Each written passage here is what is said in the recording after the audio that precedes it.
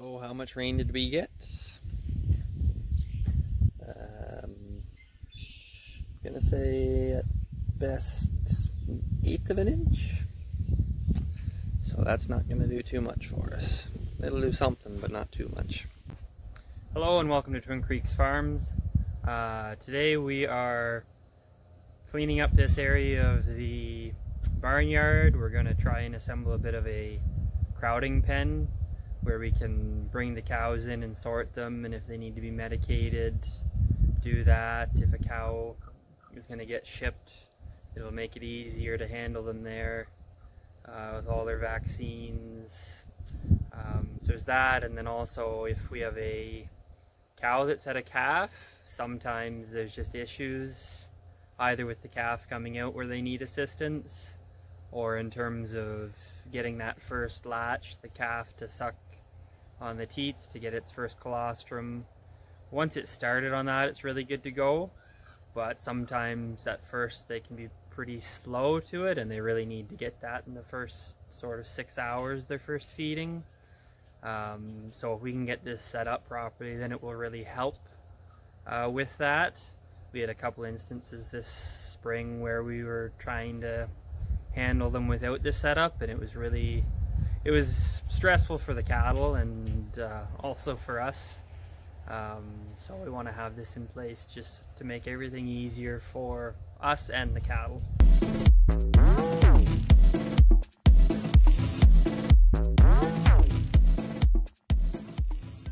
The first thing that we're going to do is clean it up. It's, it's a mess right now. Is kind of the remnants of my first attempt at a little bit of a corral for calves last fall just to get them through the chute and that didn't didn't last very long. Um, so we're gonna build something a fair bit sturdier here. Uh, so we get this cleaned up to make space for it. Um, there we have sort of panels that were concrete forms that we've pulled out now. Um, so they should be nice and tall and fairly durable for what we're going to do for now until we can afford to upgrade so we're just going to kind of spend as little money as possible on this for now. Um, and then we picked up a head gate uh, last fall that will be a good area to process them. So we'll have kind of a crowding area that they all get stored in while they're waiting to go through the head gate. And then the head gate on the end of it. Uh, so you'll see a little better what we're doing when we get going at it.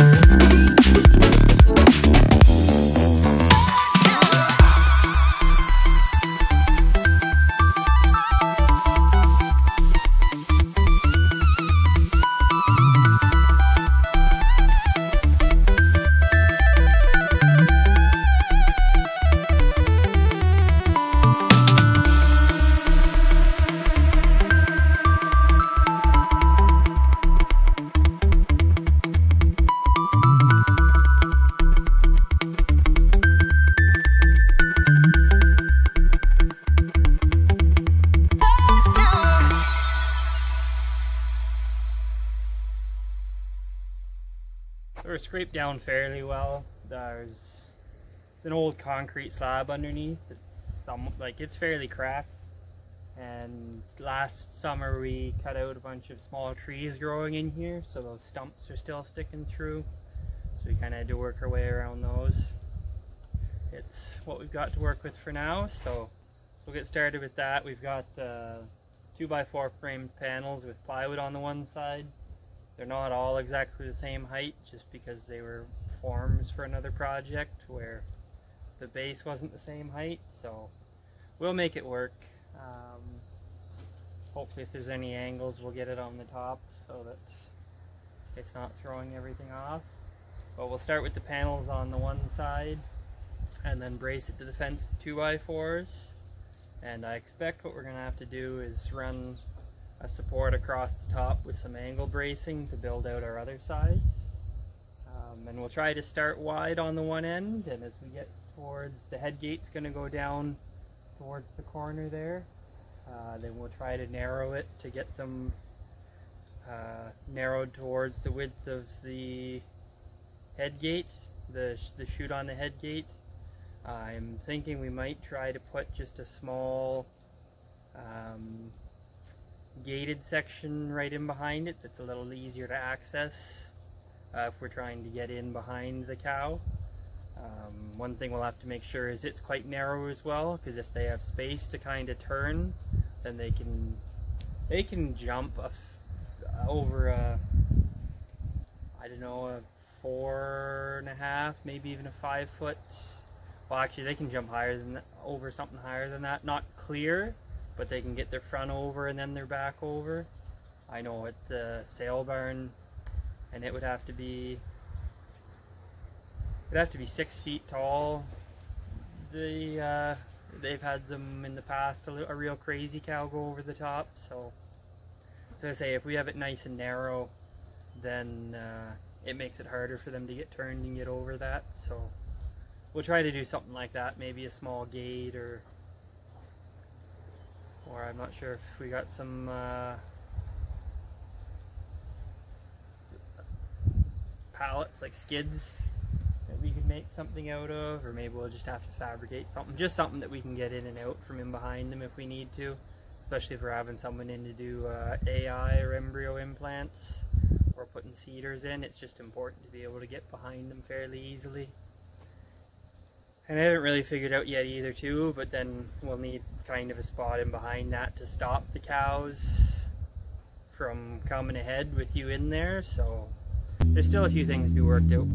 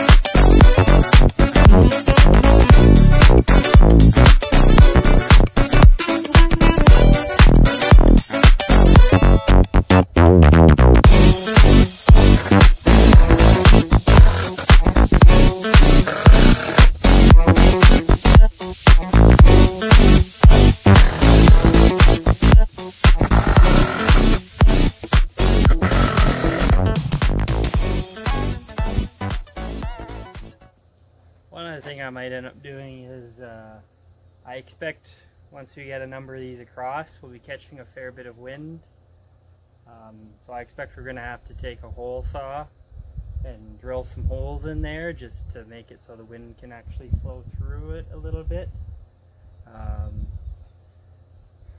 part of what I'm hoping happens with this idea is that because it's so tall, once the cows are in it, they can't really see uh, outside of it, so they're not going to have the same incentive to try and, and get through somewhere. So like with a four and a half, five foot tall gate, they can see what's on the other side of that, and so they'll try to, like I say, they might try to jump over and get there, whereas this is, I don't know, six and a half feet tall, so there's no way they can see anything. So once they're in there, um, and the cows are kind of behind them to, to keep them moving forward, then the only kind of light they see or sort of direction they see to go is the head gate. And so just to try to use the kind of the psychology of the cow to, to get them going down to the end, uh, again, just to make it easier for them and for us, and to just prevent injuries and just to make everything, it won't be relaxed, but to go a little smoother. So I think that's about where we want to be in terms of length that way. Uh, we can still get our um, head gate with the chute uh, at the end of that and still be on the concrete. Um, and so on that side it'll all be fixed panel and then just just the one section before the head gate on this side we'll make some sort of gate. I think that's what we're going to do and then we'll be about uh, maybe 12 feet wide on this side, narrowing down pretty well to the width of the head gate on the other end. Like I say, just kind of funneling them towards the chute. This is our head gate with the chute on the back of it. Uh, it's nothing fancy, it was something fairly cheap that we picked up in the fall. Um, it's really what we could afford just so that uh, we would be able to handle cattle a little easier. Um, if you're not familiar with kind of the size of cows, um, like when they're born, they can be as light as maybe 70 pounds. If they're premature, maybe a little lighter. But at, at maturity, um, some can some cows can be over 2,000 pounds, and you know it's not that uncommon for a bull to be 2,500 pounds or more. So you really need something to contain them because every now and then uh, they're going to need vaccines, medicine, whatever to keep them healthy and just to manage them well. Uh, we have to give them sometimes stuff to manage just flies and worms and uh, just sort of any general health stuff. So you really have to have something to be able to hold them because you know, it's not like you or I where we can kind of sit there and even though we don't like a needle, we'll take it, whereas they just, they don't necessarily understand what's happening. At some point I'm going to have to get this uh, welded back in place when we were dealing with our one cow that the calf wouldn't latch and she wasn't very happy with us so we had to get her in the head gate. And uh, somehow she managed to get it kind of tipped over and her leg through the uh, slats here and fell down so I had to cut it to get her her leg out so we could get her back up. So I'll have to get that fixed at some point um, so part of it I think was that the head gate just wasn't attached to anything else um, so it could kind of rock and the other part is is when they bought when I bought it so the floor is rotted out of it so I'm going to have to put in a new floor in there and I think the combination of those two things will prevent us from having those issues in the future. Again, safety for us, safety for the cow, so the smoother it goes, the better it is. So there's this pulley on the back and we pull it and that back gate slides up and we'll push the cow through. We let that down so that they can't back out uh, and if we really need to push them forward, we can put kind of a board in behind here just to keep them right forward in the head gate. Um, And when they come through, their shoulders hit these bars and they should click forward like that and that locks it in place. Um, so that keeps them snugly in there and we can kind of adjust how wide that opening is. So if we're doing like a run of calves, then we can have that a fair bit narrower. Kind of the more contained you can keep them, the less they can kind of move around and you know, risk of them hurting themselves or us. You were like, we'll be dealing with needles and everything like that. So if they're if they're nice and contained, it just it does make things go smoother. And then there's this nose catch that I gotta straighten out. And again, that if it's in the right spot, that'll help contain their head too. So it's just it keeps us from getting pricked with a needle, them getting pricked in the wrong place, us having to needle them more than once because the needle didn't go in the way it was supposed to. So this is this for us for a beef farm will be one of our most important tools. This as far as we got today. We got uh, both sides up, the panels on, and the head gate kind of moved into place. With just kind of basic bracing, we're gonna have to come along and add a lot of bracing to both sides um, just to give it strength along the run of it and also uh, partially just keep the wind and everything from blowing it over, from the cows knocking it over. So it'll need a fair bit of bracing to hold it as is. And then with the one side running straight and this one running at an angle, it gave us maybe enough length that we can just get a little bit of a gate in there. Um, and I think with that access there, we maybe don't even need um, a second gate in there to, to give the operator space. I think once, I think we can clear the space from here. Um, so I think we'll be okay for that. I might find out that I don't like that, in which case we'll do something there yeah, still the bracing, got to get the floor in there and that welded. But uh, a good start to the crowding area slash corral. Um, hoping to have it working pretty well. Tuesday morning we're supposed to have a supposed to ship out a cow. It's it's a little crazy, so it's got to go. Um, and it's a little crazy, which is why we need this system to work. If you like this content, uh, please like and subscribe. Uh, we're still looking for suggestions for names for uh, that uh, Charolais calf. She's a heifer calf. Um, so if you've got any ideas on that, leave it in the comments below. And we'll keep you updated on what's going on with there.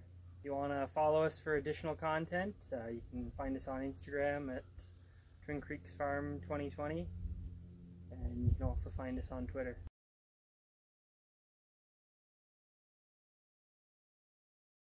Hey baby, you like raspberries?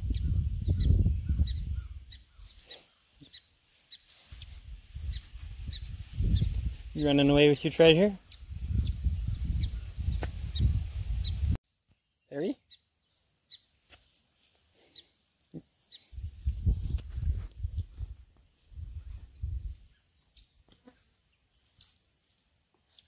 that a good one? you eating straight from the dad's basket? Oh, don't squish the berries.